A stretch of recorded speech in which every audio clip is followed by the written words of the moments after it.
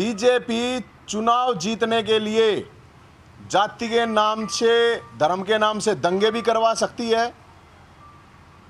चुनाव जीतने के लिए ये देश में, प्रदेश में, हरियाणा में, पूरे देश में कोठे भी खुलवा सकती है। इस तरह की मानसिकता के लोग, मुझे लगता है कि ये खट्टर साहब को ये कहना चाहेंगे हम, जहाँ तक ये लोग, हमारे जो युवा हैं, उनको शादी का लोभ दे रहे हैं। हो सकता है वो अपनी शादी की ट्राई कर रहे हों। उनकी शादी हुई नहीं उन्हें खुद रांडे हैं, खुद उनका मंत्री है उनका स्वास्थ्य मंत्री है, अनिल विज, वो रांडा है। और अब घोड़ी पे बैठने का टाइम नहीं है।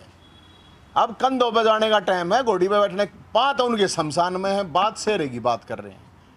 इस तरह की घटिया मानसिकता, बहन बेटियों के लिए इस तरह का कहना, वो मुझे लगता है कि इस तरह, इससे घटियापन कुछ हो नहीं सकता।